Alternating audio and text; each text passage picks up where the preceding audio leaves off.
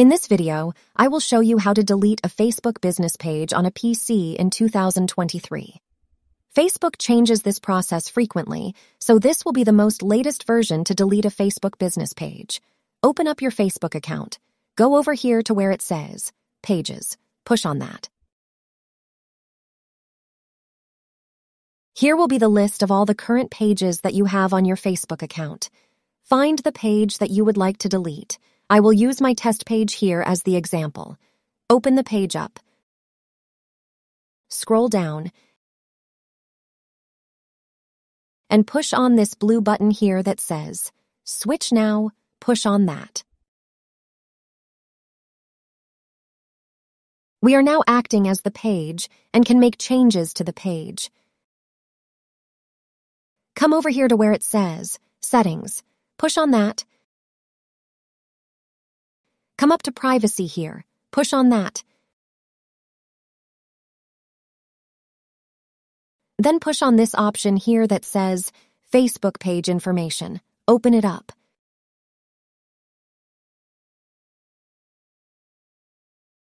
Scroll down to the bottom of this page.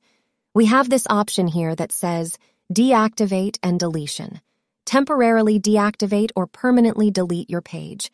This is what we have been looking for. Come over here to where it says View. Push on that.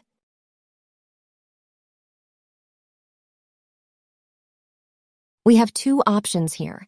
We can deactivate the page so the page will be hidden on Facebook, or we can delete the page and the page will be deleted off Facebook forever. We will push Delete Page here. Then press Continue.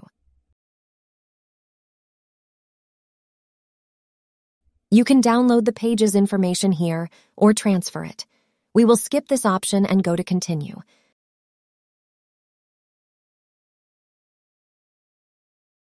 Type in your Facebook password here.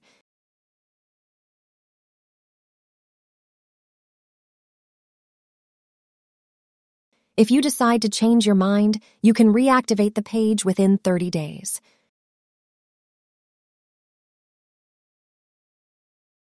Go down and push Continue.